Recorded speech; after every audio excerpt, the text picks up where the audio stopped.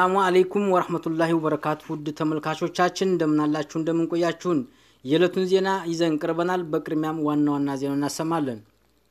ቻይና የጥቂት አባል ሀገራት ቡድን የዓለም እጣ ፋንታ የሚወሰንበት ጊዜ አልፏል በማለት የቡድን ሰባት አባል ሀገራትን አስጠነቀቀች። በትግራይ ክልል በሰብአዊ እርዳታ አቅርቦት ላይ የተሰማሩ አንዳንድ ወገኖች የጦር መሳሪያ አሾልከው ለማስገባት መሞከራቸውን የውጭ ጉዳይ ሚኒስትር አቶ ደመቀ መኮንን ተናገሩ። በዳንሻ ከተማ የአሸባሪው ህወሓትን ግፍ የሚያወግዝና የውጭ ጣልቃ ገብነትን የሚቃወሙ ሰልፍ ተካሂዷል። በኢትዮጵያ የተለያዩ አካባቢዎች የሚገኙ ነዋሪዎች ለፖለቲካ ፓርቲዎች የድጋፍ ሰልፍ አካሂደዋል። ውድ ተመልካቾቻችን አብራችሁን ስትቆዩ እነዚህና ሌሎችም ዜናዎች ትሰማላችሁ። ለቻናላችን አዲስ ከሆናችሁ subscribe በማድረግ ቤተሰብነቱን እየጋበዝን አሁን ወደ ተመራረጡ ዜናዎች አለፍን። ቻይና ለቡድን ሰባት የጥቂት ሀገራት ቡድን ዓለምን አይመራም ብላለች። ቻይና የጥቂት አባል ሀገራት ቡድን የዓለምን ዕጣ ፋንታ የሚወስንበት ጊዜ አልፏል በማለት የቡድን ሰባት አባል ሀገራትን አስጠንቅቃለች። የቡድን ሰባት ሀገራት የቻይናን ተጽዕኖ ለመቀልበስ በጋራ መቆም አለብን በሚል በእንግሊዝ ባደረጉ ጉባኤ መወሰናቸውን ተከትሎ በለንደን የሚገኘው የቻይና ኤምባሲ ቃል አቀባይ ይህን መልእክት አስተላልፏል። ዓለም አቀፍ ውሳኔዎች ጥቂት አባል ሀገራት ባለው ቡድን የሚወሰኑበት ጊዜ አልፏል። ሁሉም ሀገራት ትልቅም ሆኑ ትንሽ፣ ድሃም ሆኑ ሀብታም፣ ጠንካራም ሆኑ ደካማ እኩል ናቸው ብለን እናምናለን። የዓለም ጉዳዮች ሁሉንም ሀገራት ባማከለ መልኩ ሊወሰን ይገባል ብለዋል። የቡድን ሰባት አባል ሀገራት ቻይና በዝቅተኛና መካከለኛ ሀገራት የምታደርገውን የመሰረተ ልማት ግንባታ በተሻለ አማራጭ እንተካለን በሚል እቅድ ነድፈዋል። የአሜሪካው ፕሬዚዳንት ጆ ባይደን ምዕራባውያን ሀገራት የቻይናን ተጽዕኖ ለመቀልበስ በአሁኑ ወቅት እርምጃ ሊወስዱ እንደሚገባ ጽኑ እምነት እንዳላቸው ተንታኞች ይናገራሉ። በዛሬው ዕለት የቡድን ሰባት ሀገራት የመዝጊያ መግለጫቸውን የሚያወጡ ሲሆን በዚህም ለአዳጊ ሀገራት የአየር ጸባይ ቀውስን እንዲታገሉ እንዲሁም ከቻይና ፕሮግራም የተሻለ አማራጭ የሆነውን የመሰረተ ልማት ፕሮጀክት ድጋፍ እቅድንም ይካተትበታል ተብሏል። የቻይና Belt and Road Initiative በበርካታ አገራት ባቡሮችን፣ መንገዶችንና ወደቦችን ለመገንባት በቢሊዮኖች ዶላር የሚገመት የገንዘብ ድጋፍ ያደርጋል። ነገር ግን አገራት ከማይወጡበት የብድር አዘቅት ውስጥ በመክተትም ከፍተኛ ትችቶች ቀርበውበታል።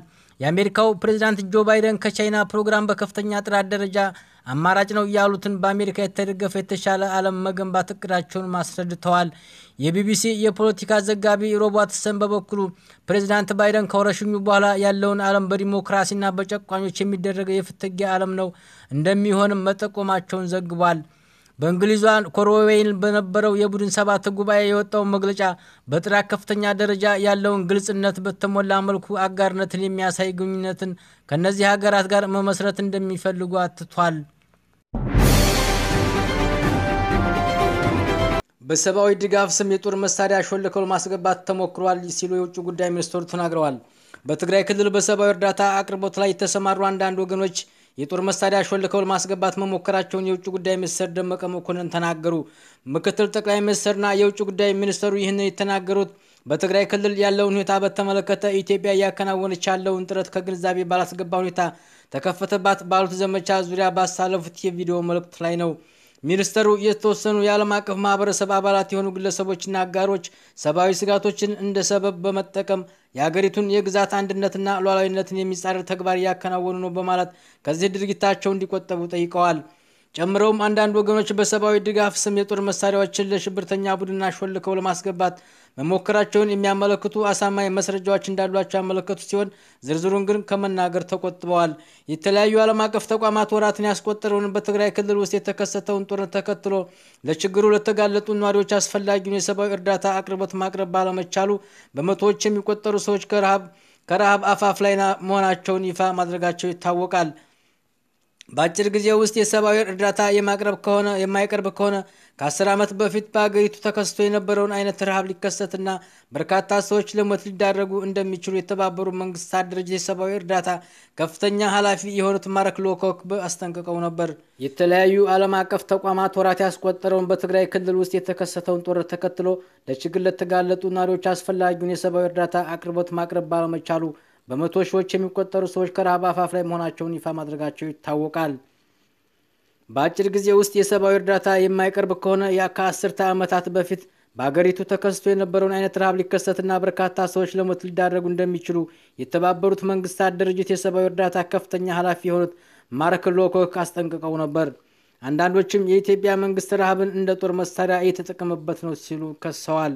ይህንን በተመለከተ የውጭ ጉዳይ ሚኒስትሩ በሰጡት ምላሽ ኢትዮጵያ በዜጎቿ ላይ ረሃብን እንደ ጦር መሳሪያ እየተጠቀመች ነው የሚለውን ክስ በእጅጉ የሚያሳዝን ውሸት ከመሆኑም በተጨማሪ ለሰላም ለትብብርና ለመረጋጋት የማያግዝ በማለት ውድቅ አድርገውታል። የኢትዮጵያ መንግስት እያደረገ ያለውን ጥረት ችላ በማለት በተከፈተበት ዘመቻ በእጅጉ ማዘኑን የገለጹት የውጭ ጉዳይ ሚኒስትሩ መንግስታቸው በአዎንታዊና ገንቢ በሆነ መልኩ አብረውት ለመስራት ከሚፈልጉ አጋሮች ጋር ለመተባበር ዝግጁ መሆኑን ገልጸዋል።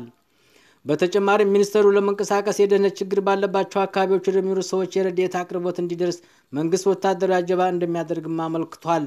የኢትዮጵያ መንግስት በትግራይ ውስጥ የተከሰተውን ሰብአዊ ቀውስ በተመለከተ ከዓለም አቀፍ ማህበረሰብ ጋር በጋራ ለመስራት ቁርጠኛ ከመሆኑ በተጨማሪ በክልሉ ውስጥ ሙሉና ያልተገደበ የእንቅስቃሴ ፍቃድ መስጠት በጦርነቱ ሳቢያ በተከሰተው የምግብ አቅርቦት ችግር ምክንያት ከ350 ሺህ በላይ ሰዎች በትግራይ ክልል ውስጥ በረሃብ አደጋ ውስጥ እንደሚገኙና ሌሎች ሚሊዮኖች በተመሳሳይ አደጋ እንዳጋጠማቸው የተባበሩት መንግስታት ድርጅትና በእርዳታ ተቋማት የተሰራን ትንተና ጠቅሶ ሮይተርስ ባለፈው ሳምንት ዘግቧል። የብሔራዊ የአደጋ ስጋት ስራ አመራር ኮሚሽን አቶ ምትኩ ካሳ ግን በክልል ውስጥ ምንም አይነት የምግብ እጥረት እንደሌለ አመልክተው ምክንያቱም 91.3 በመቶ የሚሆነው ህዝብ በአምስት የእርዳታ ድርጅቶች እየተረዳ ይገኛል ብለዋል። ኮሚሽነሩ ከቀናት በፊት በክልሉ ውስጥ ስላለው የእርዳታ አቅርቦትን በተመለከተ እንደተናገሩት ለ4.5 ሚሊዮን ህዝብ ምግብና ምግብ ነክ ያልሆኑ እርዳታዎች በመጀመሪያ ዙር፣ ሁለተኛ ዙርና ሶስተኛ ዙር ለ5.2 ሚሊዮን ህዝብ ቀርቧል ብለዋል። በኢትዮጵያ የተለያዩ አካባቢዎች የሚገኙ ነዋሪዎች ለፖለቲካ ፓርቲዎች የድጋፍ ሰልፍ አካሂደዋል። የብልጽግና ፓርቲ የድጋፍ ሰልፍ በጎንደር ከተማ፣ በማዕከላዊ ጎንደር፣ በምዕራብ ጎንደርና በሰሜን ጎንደር ዞኖች በሚገኙ ወረዳ፣ በኮምቦልቻ ከተማ፣ በጉራጌ ዞን የሻሃ ወረዳና እብነበረድ ከተማ፣ ድሬዳዋ ከተማ እንዲሁም በአዲስ አበባ ንፋስ ስልክ ላፍቶ ክፍለ ከተማ ተካሂዷል። በጎንደር ከተማ በተካሄደው የድጋፍ ሰልፍ የክልሉ ርዕሰ መስተዳደር አቶ አገኘሁ ተሻገርን ጨምሮ የከተማው የብልጽግና ፓርቲ እጩዎችና የፓርቲው አባላት ተገኝተዋል። በድሬዳዋ ከተማ በተደረገው የድጋፍ ሰልፍ የድሬዳዋ አስተዳደር ምክትል ከንቲባ አቶ አህመድ መሐመድና የድሬዳዋ አስተዳደር የብልጽግና ፓርቲ ጽህፈት ቤት ኃላፊ አቶ መብራቴ ገብረ ኢየሱስን ጨምሮ የፓርቲው አባላትና ደጋፊዎች ተገኝተዋል። በአዲስ አበባ ንፋስ ስልክ ላፍቶ ክፍለ ከተማ በተካሄደው የብልጽግና ፓርቲ የድጋፍ ሰልፍ የአዲስ አበባ ምክትል ከንቲባ ወይዘሮ አዳነች አቤቤን ጨምሮ የፓርቲው አባላት ተገኝተዋል። የኢትዮጵያ ዜጎች ለማህበራዊ ፍትህ ኢዜማ በደብረ ብርሃን ከተማ በእነሞርና ኤነር ምርጫ ወረዳ በወይራና ሜቄ ጉንችሬ ከተማ የምርጫ ቅስቀሳ አድርጓል። ለአማራ ብሔራዊ ንቅናቄ አብን የድጋፍ ሰልፍ በፍኖተ ሰላም ከተማ የተካሄደ ሲሆን ፓርቲው በደብረ ታቦር ከተማ ባካሄደው መድረክ ለምርጫ 2013 ያዘጋጀውን ማኒፌስቶ ለአባላቱና ለደጋፊዎቹ አስታውቋል።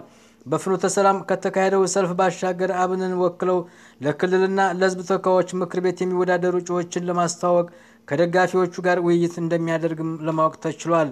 ጥቂት ቀናት በቀሩት የምርጫ ቅስቀሳ ፕሮግራም ፓርቲዎች የማጠቃለያ የምረጡ ቅስቀሳ እያደረጉ ይገኛል። አምስት ሀገራት በጸጥታው ምክር ቤት ተለዋጭ አባል እንዲሆኑ ተመርጠዋል። በዚህም አልባንያ፣ ብራዚል፣ ጋቦን፣ ጋናና የተባበሩት አረብ ኤሚሬትስ በጸጥታው ምክር ቤት ተለዋጭ አባል ሆነው የተመረጡ ሀገራት ናቸው። ሀገራቱ በተባበሩት መንግስታት ድርጅት የጸጥታው ምክር ቤት ለሚቀጥለው ሁለት ዓመት ተለዋጭ አባል የሚሆኑ ሲሆን እንደ ፈረንጆቹ አቆጣጠር ጥር 1 2022 በይፋ አባልነቱን ይቀላቀላሉ ነው የተባለው።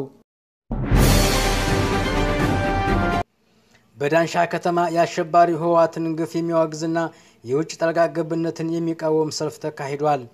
በወልቃይት ጠገዴ ዳንሻ ከተማ የአሸባሪውን ህወሓት ግፍ የሚያወግዝና የውጭ ጣልቃ ገብነት የሚቃወም ሰልፍ እየተካሄደ ይገኛል።